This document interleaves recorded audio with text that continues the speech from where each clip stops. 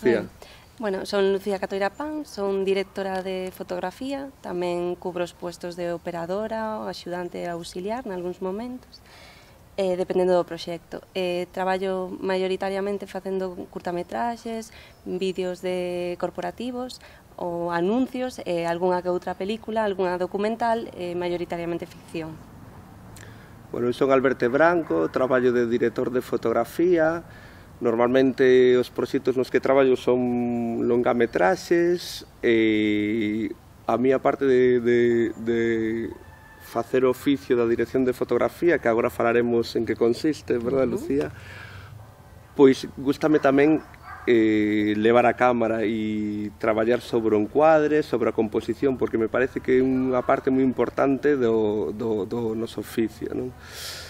Eu sinto nos oficios, Lucía, como que somos os os ollos do director, non? Que estamos un pouco supeditados a, o que diga o director ou directora, non simplemente o que intentamos executar eh, o que está na escrita cara ás imaxes, non?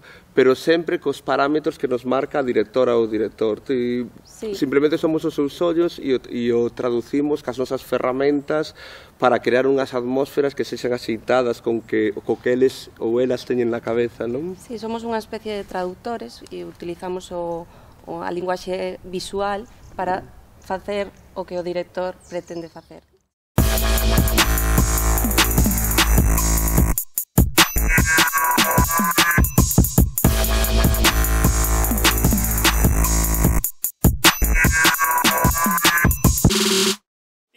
había acción.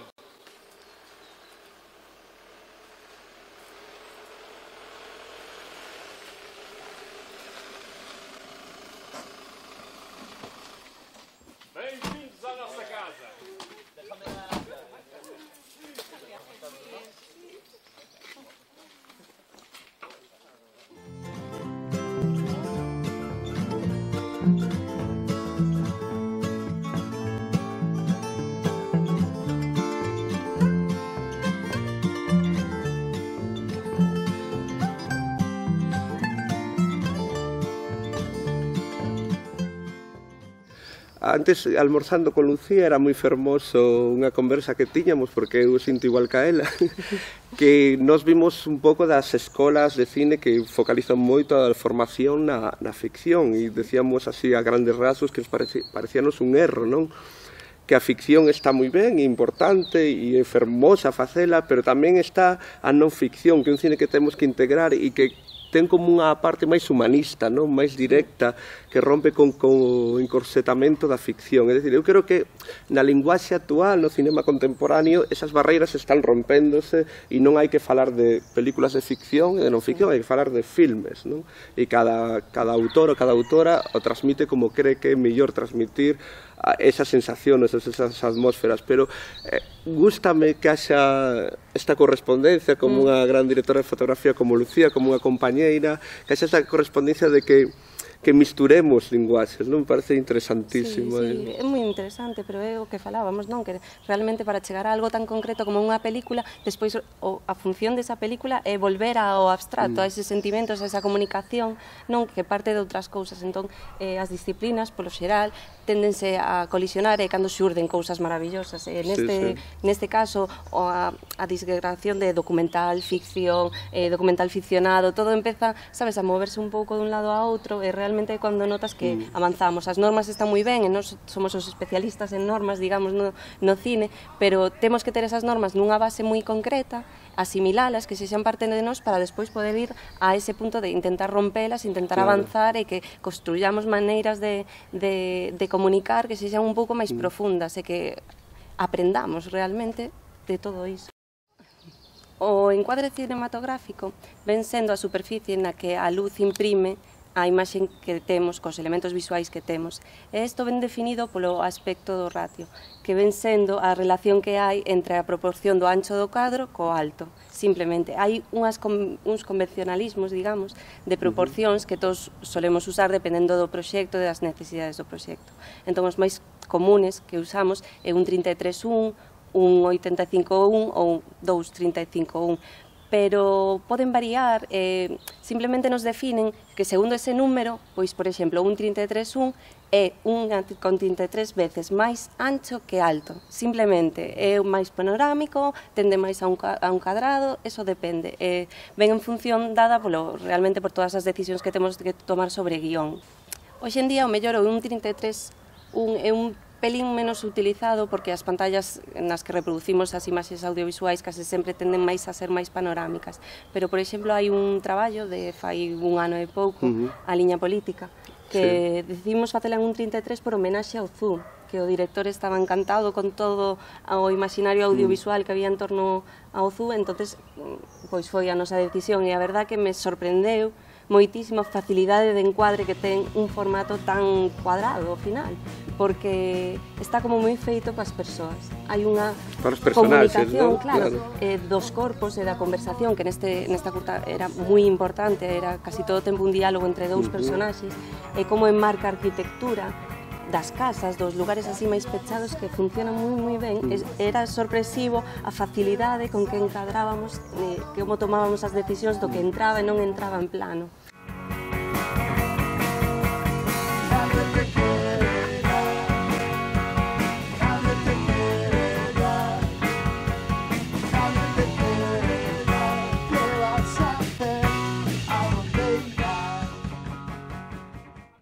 eu son moi fan, aínda que parece que é un, unha relación de aspecto, casi un encuadre desuso, casi sí. desuso, pero pero hai cantidad de cineastas contemporáneos que están recuperando duns anos para aquí, cantidad de cineastas que están despuntando nos festivais así máis discursivos e están recuperando ese formato que, que é o formato máis primitivo do, do cinema, pero de, eu creo que de, de anos para aquí estáse recuperando moito e a min agrádame moito ver películas en un 33 sí. a 1 porque é moi intelixente cando faz películas que son máis de personaxe e o espacio non ten tanta importancia, non?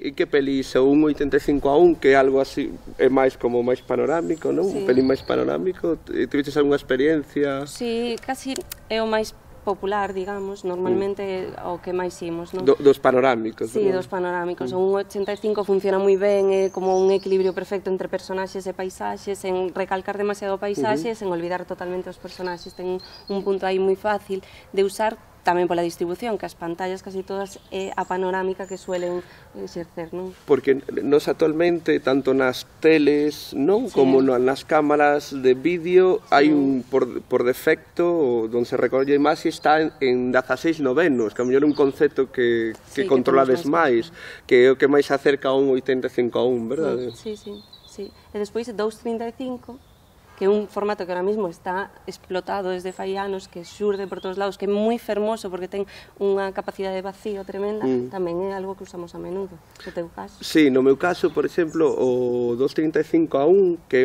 moito máis panorámico que o 185 a 1, pois utilizamos nos fenómenos. Pero por qué? Porque é unha película que o espacio tiña moita importancia, teña moita importancia os personaxes e os e o espazo, por exemplo, a película empeza en Cabo de Gata, en Almería, e é como unha personaxe enfrentándose ao espazo e a, solia, e a soidade dese espazo. entonces era perfecto esa sí. paisaxe encuadrala en 2.35 a 1. Sí. Pero despois, cando vimos, cando a peli transcurre, ese personaxe ven a Galicia e transcurre en Galicia nunha obra, é unha peli coral non? O espacio ten moita importancia porque a propia obra onde traballan todos estes obreiros, esta obreira, pero é coral, entonces para meter seis, sete personaxes tamén funcionaba, nas pelis corais funciona perfectamente, sabe? Entonces había que hai como unha combinación, teña tanta importancia o personaxe como o espazo, entonces os, os, os, os, as relacións de aspectos panorámicas eh, engranan moi ben sobre eso que se está contando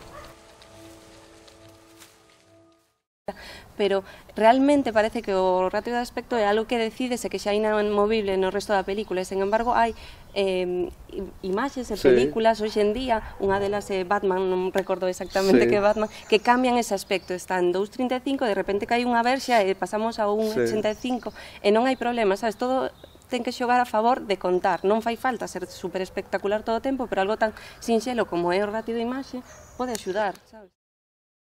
unha vez elexida a nosa relación de aspectos, según para o proxecto audiovisual que sexa, nos dentro podemos facer o que é a ordenación de elementos de calquera elemento, pode ser cousas vivas, cousas mortas, a ordenación de elementos. Isto é a composición.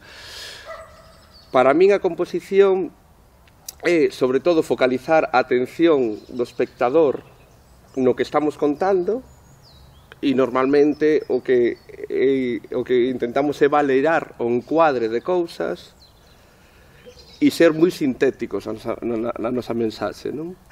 É como unha, é como unha linguaxe. Para mí a composición é como unha linguaxe, quer decir que os elementos son as palabras e a colocación deses elementos é a gramática.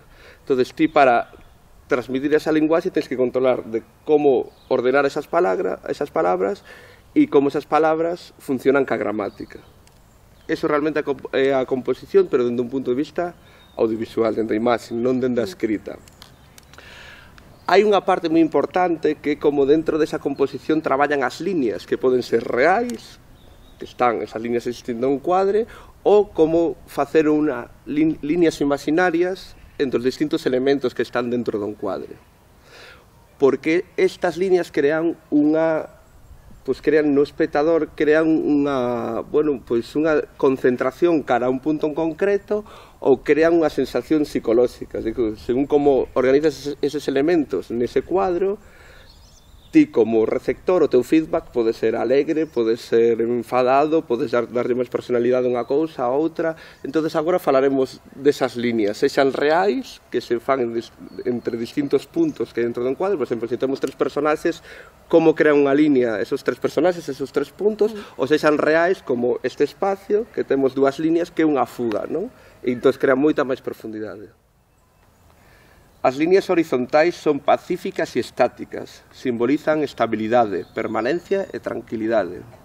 As liñas verticais son sólidas, equilibradas e firmes, simbolizan forza, poder, estabilidade. As liñas diagonais son activas e dinámicas, crean tensión e evocan acción ou movimento. As liñas curvas suxiren o movimento, pero máis lentas que as liñas diagonais. As liñas en zigzag son erráticas, activas e cheas de tensión, evocan ansiedade. E para rematar, as curvas en S evocan movimento repetitivo delicado, sensación de distancia.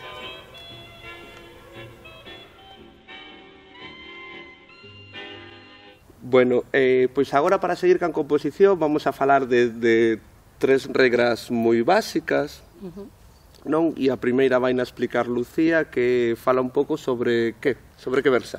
Pois o punto de atención basicamente no fotograma que era o que falábamos antes de deixar cousas foras, eh, saber o que deixamos dentro para que conflúa a idea de como o espectador pode ler ese cadro non que temos.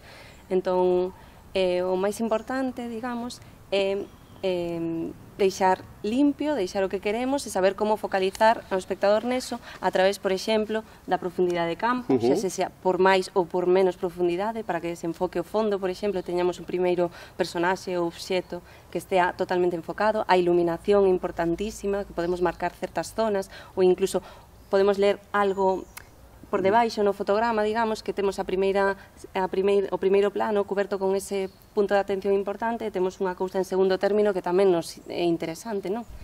Eh, o que fixemos foi que a iluminación crease como unha aura eh, bastante oscura ao redor e só a iluminación se concentraba, digamos, no personaxe e nos obxetos que tiña inmediatamente, uh -huh. porque nesta curta é moi importante a vis, tanto a visión como as mans uh -huh. e o que manipulan e, e tocan. Entón, a idea era eliminar todo o que tiña ao redor eh, para conseguilo a iluminación estaba como concentrada nese punto, xa fose o centro do cuadro ou un lateral, uh -huh. pero que, que recaíse sobre, pois, sobre Vicente de Souza, o, eh, o personaxe que, que, nos, que nos daba el e eh, as súas accións. Digamos. A min, con respecto á iluminación, ocurreseme outra para focalizar a, a, a mirada do espectador en tres personaxes. É unha conversa que teñen nun, nun pub, eh, da película Encallados, Alfonso Zarauza. entonces fixemos como unha luz moi expresionista, é dicir, eran como proxectores que é un haz de luz moi puntual, chamamos proxectores con lente Fresnel, entonces toda a luz estaba concentrada casi toda, un 80% nas súas caras e todo o entorno tamén estaba nunha subexposición moi baixa. entonces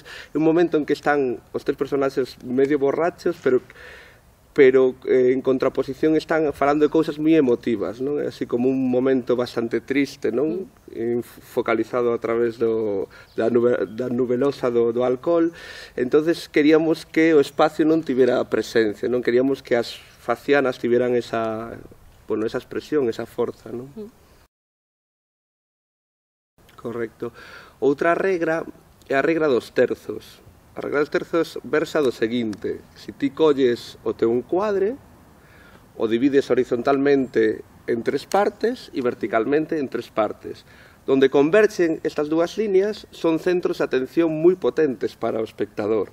É dicir, eh, recoméndase académicamente de poñer os teus puntos de atención neses puntos de conversión, non?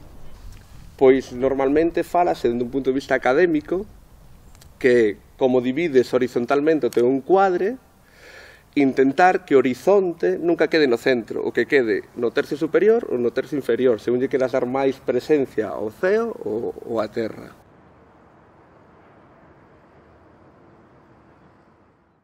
Son normas moi claras que teñen unha funcionalidade moi clara. Sí, Por sí. exemplo, tamén temos a norma de dirección, digamos, que se un personaxe mira cara a un lado, vamos a intentar que o aire dese cadro quede cara a ese lado, igual que se vai dirixir, moverse ou facer calquera cousa cara a ese lado, o mesmo, deixamos ese aire limpio para que o espectador poida ler con máis facilidade. Sí, por exemplo, se Lucía mírame a min, estamos nunha situación de diálogo, e ela mira a min normalmente se este o límite dun cuadre, deixamos que haxa este aire entre a mirada e o límite.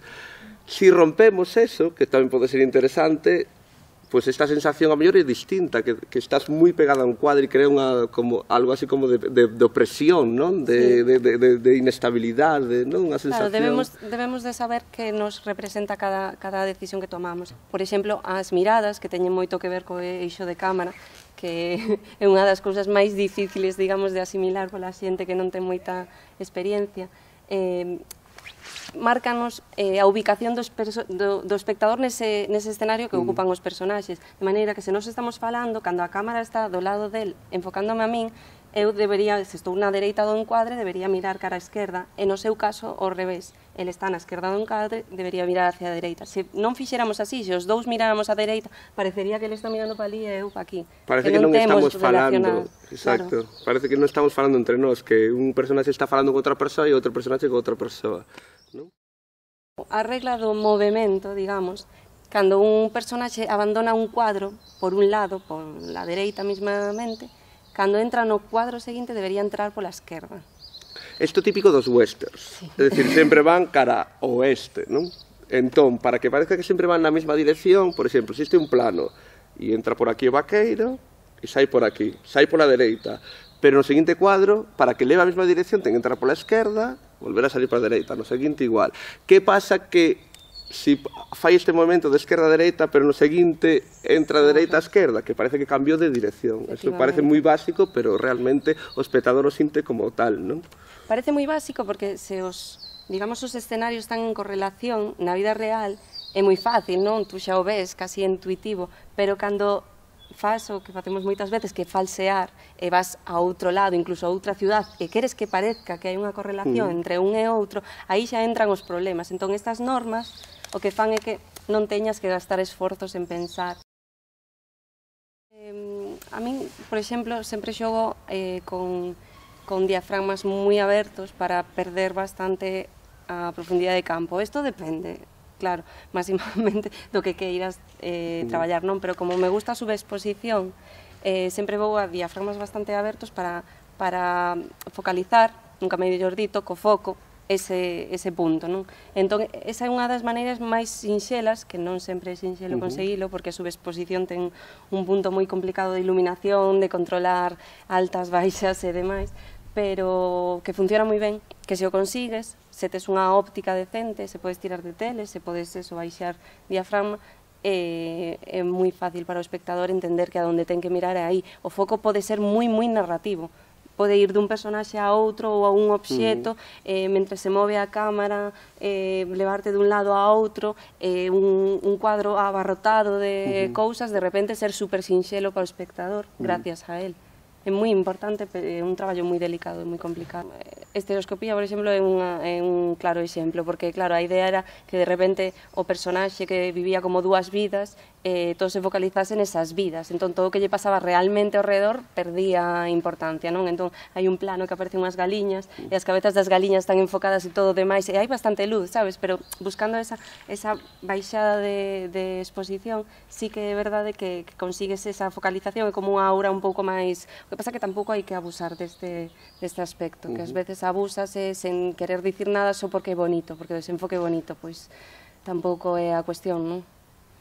Eu recordo un exemplo que todo o contrario, que é unha película que filmei con Ángel Santos, que é Las altas presiones, que Ángel Santos eh, gustalle moito os espacios por onde transcurren estes personaxes. Entón, o que queríamos era moita profundidade de campo, mm. é dicir, que tanto o personaxe como o espazo estiveran a foco pois traballamos xa con un formato que ten unha ventanilla máis pequeniña. Canto máis pequeniña ten a ventanilla, máis profundidade de campo ten. ¿sí? Canto máis grande a ventanilla, o, esta rela o, o que falábamos antes da relación de aspecto, menos profundidade de campo ten, pero a maiores utilizábamos diafragmas bastante nobles, quero decir, bastante pechados para enfatizar a profundidade de campo, porque un personaxe que sempre está que el personalmente ten unha, pois, ten así como unha crise interna pero pasea a través de espacios que están en crise tamén. entonces era como sumar doble crise e crea unha sensación aí de, de tensión moi grande. Non? Sí, é, a profundidade de campo axuda moito coa tensión Ainda non entendo moi ben por qué, pero sí que pasa, por exemplo, uh -huh. na película de Orson Welles, na que hai sí. tres, eh, tres accións no mesmo cuadro. Ciudadano tes, Kane, non? Sí, esa é, creo que esa é o principio, cando van sí. buscar a casa ou tal, tes acción de primeiro, que é como Correcto. super académico isto, pero era maravilloso, porque naquela época conseguir tanta profundidade era... de campo era como un héroe, o tipo, e tiñas a conversación esta, a Dalí, e ademais a lonxe, todo estaba a foco, eso creaba unha tensión de non, de sí. casi non sabías a que prestar atención, e ao mesmo tempo podías prestar atención ás tres tres accións. Para conseguir tanta profundidade de campo nesas épocas, sí. pois a o que era a sensibilidade das películas era moi baixa, que significa que tú cando tes unha sensibilidade moi baixa precisas moita cantidade de luz para conseguir un diafragma pechado, non? Entonces debían de ter ali unos focos, unos arcos destes, chamábanse arcos, esos focos tan grandes naquela época, iluminando para ter ese diafragma que consigas toda esa profundidade. Podíamos falar dun plano secuencia que hai en, en Encallados. Este personaxe que está falando por teléfono queda nun plano medio e nun plano medio que está a unha distancia da óptica que eran 24 milímetros está como, eh, eu se non recordo mal a un metro e medio e os outros dos personaxes que desaparecen pero aparecen cando se para a cámara que estarán como a, a 11 metros de fondo se non recordo mal está todo a foco o primeiro término e o segundo término. Aí apetecíanos crear unha composición co, coas líneas e cos elementos non? que unha línea diagonal e tres puntos que unifican un triángulo. Para, que te, para saber que ten relación o que está falando o personaxe que está en primeiro término co que están falando cos do fondo aínda que non se lles escoito eu acordo en certos proxectos traballando cun director que escoitábamos moita música, un pouco para traducir o ritmo que tiña esa película, non a cadencia que podía ter esa película. Para min, por exemplo, unha ferramenta que nos utilizamos que é básica para nós, para crear texturas, pero tamén para crear ritmos é a óptica, non? Como digo eu, o ollo que utilizamos para filmar esa película. E para min cada distancia focal, cada óptica ten un ritmo diferente. Entonces intentamos asociar un tema musical a unha distancia focal e parecía un traballo moi fermoso, non? Si, sí, ao final sempre partimos do real, da vida, non? Do, do noso, da nosa conversación, mm. dese café que te tomas para poder chegar a outros puntos. É moi bonito, é un pouco o, o rollo documental que ten toda a película, ainda que sexa de ficción, empezar por esa parte que eh, son as vivencias de cada un e como nos asimilamos uns aos outros. E como conclusión, pareceme interesante que todo o que falamos hoxe son academicismos do cinema que creo que é importante coñecelos, practicalos levamos a, e leválos a, a cabo, pero tamén é moi importante romper con eles, porque bueno, eu creo que se poden transmitir sensacións non só ca academia, sino coa parte máis contemporánea, non ca transmisión audiovisual máis contemporánea. Entonces, pero sí é preciso que saibamos estas reglas e as practiquemos moito para despois romper con elas non o que decimos nós é o que se ten que facer, sino cada un ten que facer o cada unha o que sinte que te, para transmitir algo audiovisualmente. Non? Estas normas funcionan, porque sabemos que funcionan, están chequeadísimas desde, que feitas. desde fai moitísimos anos eh, pero hai outras cousas que funcionan pero non sabes hasta que o probas. Entón temos isto claro, funcionamos con isto pero ás veces necesitas ir máis aló. Así que ir máis aló é a que eh, vos invitamos. Entonces recomendamos que vexades a Charles Chaplin e a, e a Kowalski.